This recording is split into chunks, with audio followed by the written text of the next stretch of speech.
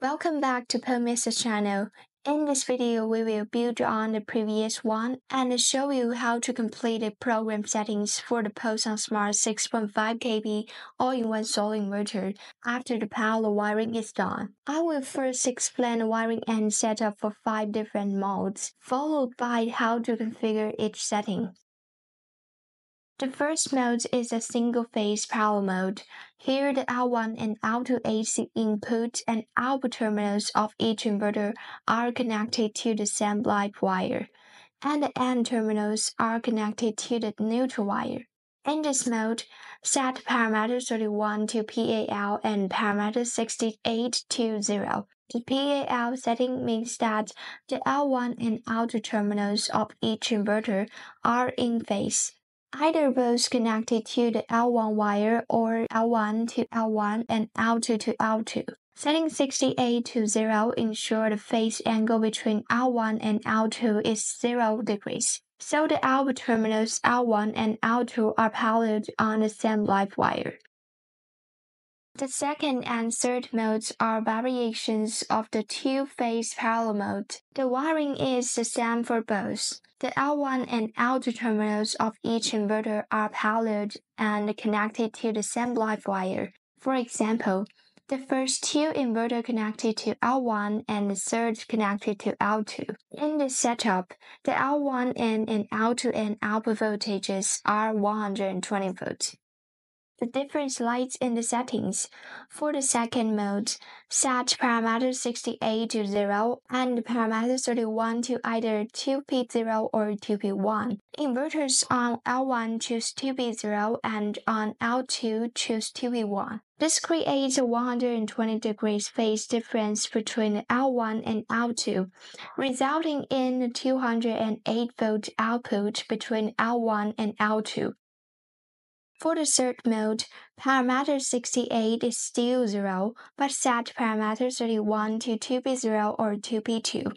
2p0 for inverter on L1 and 2p2 from those on L2. This creates a 180 degree phase difference, with the L1 L2 output voltage being 240 volts. The wiring is the same in both modes, but changing the phase angle alters the L1 L2 output voltage.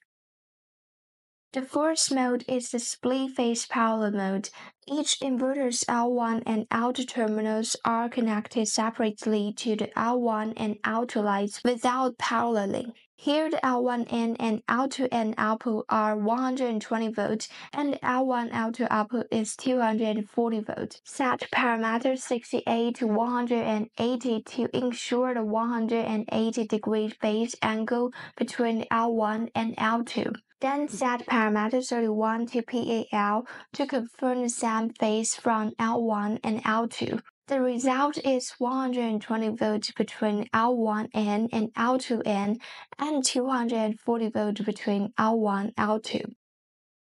The fifth mode is a three-phase parallel mode. It works similarly to two-phase mode, but now with three-phase. Each inverter's L1 and L2 terminals are parallel and connected to the same phase.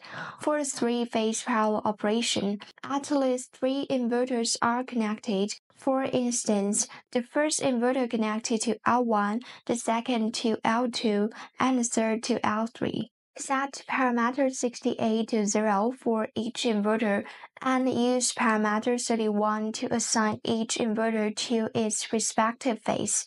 3P1 for L1, 3P2 for L2, and 3P3 for L3.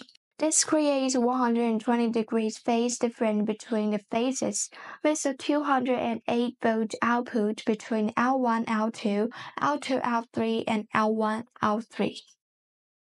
Now let's discuss how to configure inverters. Start by configuring each inverter one at a time. After setting up one, power it off before moving on to the next. Once all inverters are configured, power them on one by one. The first inverter powered on will automatically become the master and will display master on the main screen. It will also show the phase on the inverter. L1 will stay on and L2 will blink if the inverter is in the L1 phase.